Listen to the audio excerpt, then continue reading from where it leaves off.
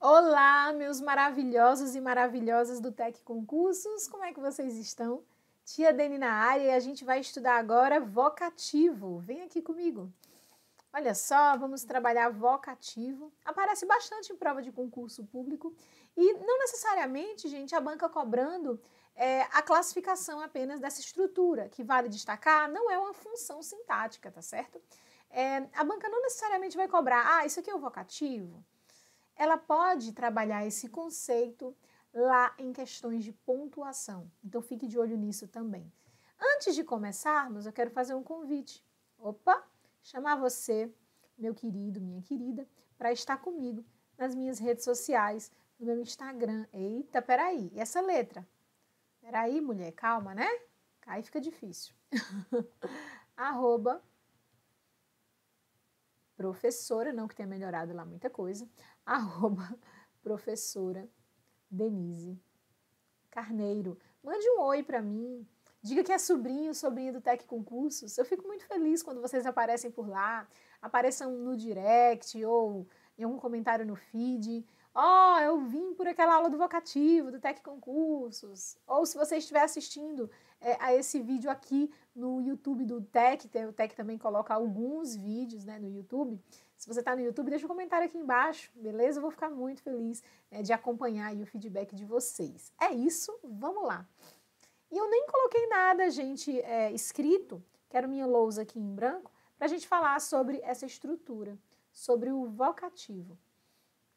O vocativo né, é uma estrutura que não é função sintática, então fica logo de olho. Não é função sintática. Detalhe: algumas bancas Algumas bancas dizem que é. Ah, identifique a função sintática do trecho em análise, quando você vai ver um vocativo. Tudo bem, você não vai perder questão por causa disso, beleza? Se tua banca chegar e pedir, ah, identifique a função sintática do termo destacado e calhar de ser um vocativo, ok, marque, não perca questão por causa disso. Mas fica registrado aqui que de fato não é uma função sintática. E o que é que você quer dizer com isso, tia? Por que enfatizar tanto que não é uma função sintática? Porque, gente, função sintática é algo que só aparece em orações, né? só acontece em orações. Ou seja, né, só acontece em frases com verbo. E, no meu caso, o vocativo, ele não aparece apenas em estruturas com verbo, né, em orações. Vamos dar uma olhada no que é o vocativo primeiro, e aí nos exemplos você vai sentir comigo que, de fato, ele não é uma função sintática. Então, olha só, o vocativo, ele é um chamamento, ele é um chamamento. Chamamento. Invocação. Invocação. Não é nada macabro, não, tá, gente? Não é coisa de filme de terror, não. Invocação. Você vai chamar alguém, invocar alguém, certo? E aí, para facilitar, coloque aí com. Vou colocar em uma outra cor. Dica Ah, deixa eu colocar assim, fica melhor. Representa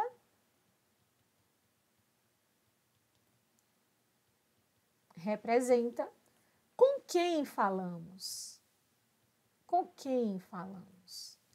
Então perceba, não é de quem falamos, é com quem falamos, ok? Eu estou falando com esta pessoa. E você vai ver que não necessariamente precisa ser uma pessoa, tá bom?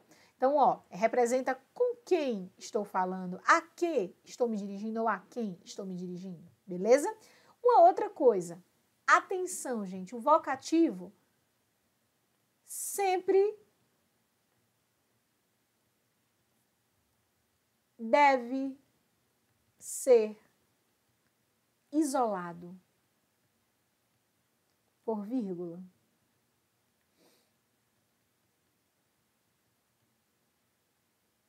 Ok? O seu vocativo ele precisa estar isolado.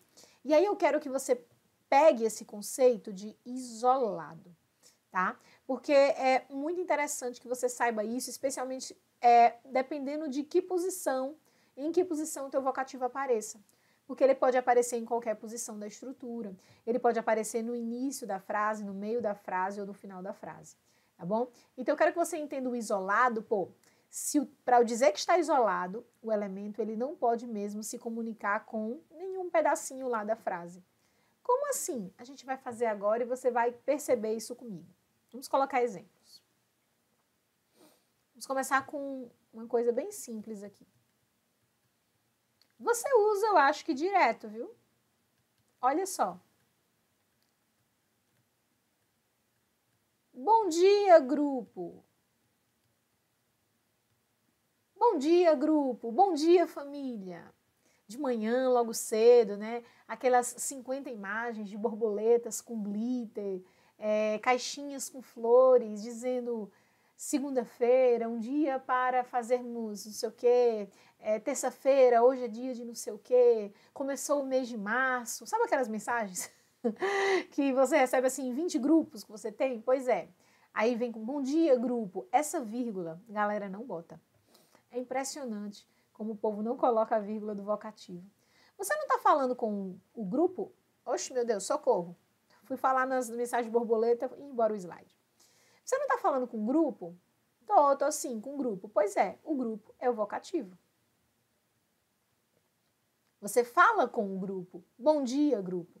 É o vocativo. E ele precisa estar o quê? Isolado. Isolado por vírgula. Então, ó, coloca uma vírgula aqui. Isolado significa o quê?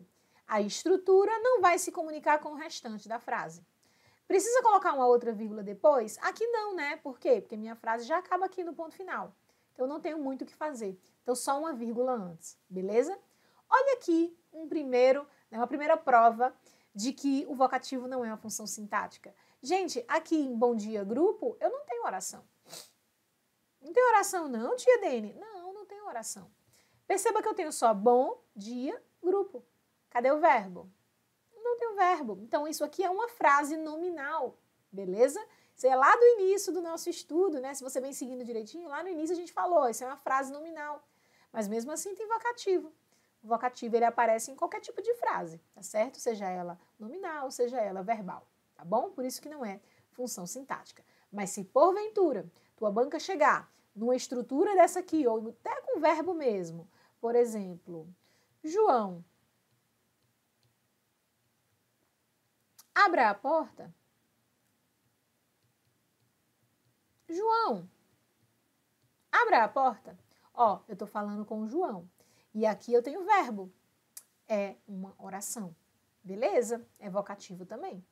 Então perceba que tanto o vocativo pode aparecer em orações, como pode aparecer em frases nominais, tá bom? Em frases verbais, ó, verbo, frases verbais, ou em frases nominais, frases sem verbo. Então, mais uma vez, vocativo não é função sintática, mas não é por isso que você vai perder questão.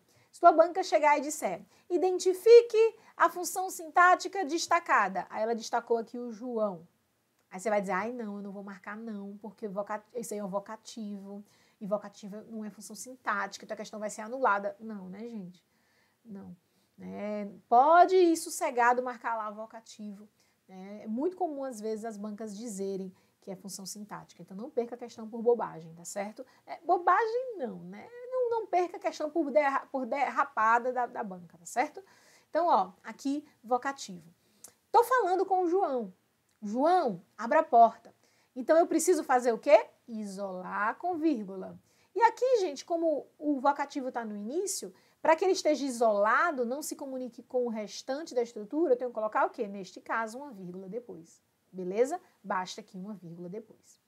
Mas e se estiver no meio? Por exemplo, a vida, meu amigo, é linda. A vida é linda, a vida é mágica. Olha só, estou falando com o meu amigo. Perceba que não precisa ter o nome de uma pessoa, que eu falei grupo, que eu coloquei meu amigo. E, gente, o céu é o limite, tá? Para isso aqui. Já já vou te dar um exemplo aí com outra coisa, tá? Não precisa ser pessoas, não. Vou te dar já já um exemplo que não seja pessoa. Mas veja só, a vida, meu amigo, é linda. Estou falando né, com meu amigo. É com ele que eu estou falando. Então aqui eu tenho o meu vocativo. Né? É com ele que eu estou falando. E aí perceba que ele está no meio. Tome muito cuidado. Neste caso, se tua banca sugerir a retirada de uma dessas vírgulas, tá? haverá um erro. Por quê? Mais uma vez, se liga na informação.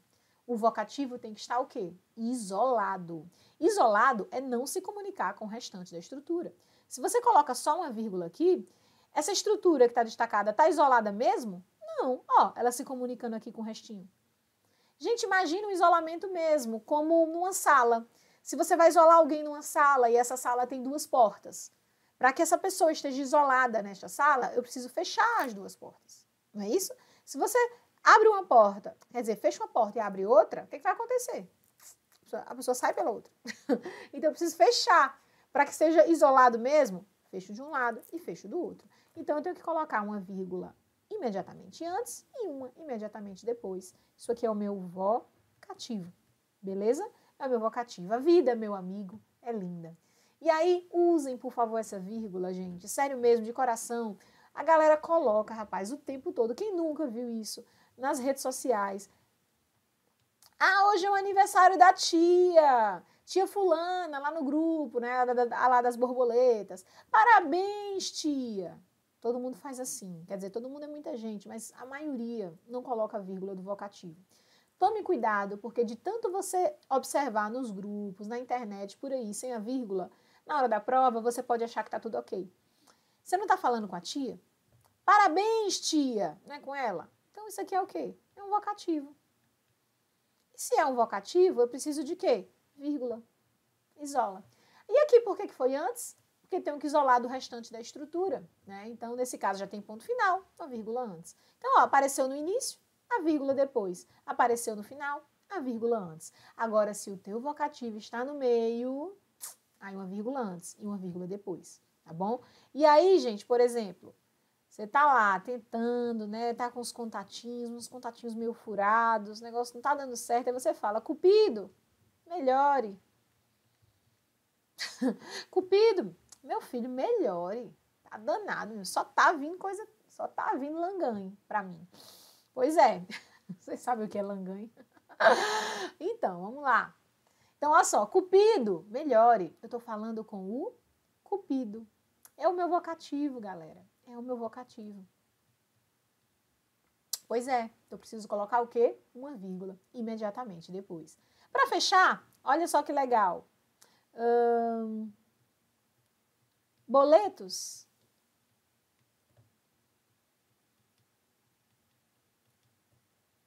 Deixem-me em paz. Boletos, deixem-me em paz. Você está lá revoltado, mal terminou de pagar um boleto, já chegou outro, aí você vai e conversa com os boletos. Momento lá de estresse. Boletos, sumam. Deixe-me em paz. Estou falando com os boletos. Posso fazer isso? Posso. Está falando com os boletos? É vocativo. E precisa estar o quê? Isolado. Precisa estar isolado tá certo? Fica de olho né, aqui no vocativo, porque ele cai muito. Tanto a tua banca pode pedir a classificação da estrutura. Ah, qual é a estrutura destacada? Como ela funciona? Qual é o nome dela? E pode até perguntar qual é a função sintática, né? Tudo bem, não é o ideal, mas pode aparecer. E a tua banca também pode fazer, sabe o quê? Trabalhar em cima da vírgula. Né? Sugerir a retirada de uma dessas vírgulas aqui, ó, desse exemplo que eu coloquei o asterisco. A banca pode também é, dizer que é um aposto, super comum pegar o vocativo, dizer que é aposto, pegar o aposto, dizer que é vocativo, super comum. A banca pode também uh, só perguntar o motivo pelo qual essa vírgula foi colocada. Ah, essa vírgula foi colocada por que motivo? Ela pode ser retirada, ela é facultativa. Não, ela não é facultativa. Beleza? Tranquilo, gente? Pois é, a gente não tem mais muito o que falar. É, é uma estrutura tranquila, mas importante para a sua aprovação, sua, na sua estrada aí rumo à aprovação, você vai precisar saber o que é um vocativo, como utilizá-lo certinho, como identificá-lo e como pontuá-lo. Beleza? Pois é, a gente termina aqui, deixa eu ficar maiorzinha, a gente termina aqui a nossa aulinha sobre vocativo e eu encontro você dentro de outro tópico aqui no Tec Concursos. E sorri, anime-se, você está sendo muito bem preparado e em breve será concursado.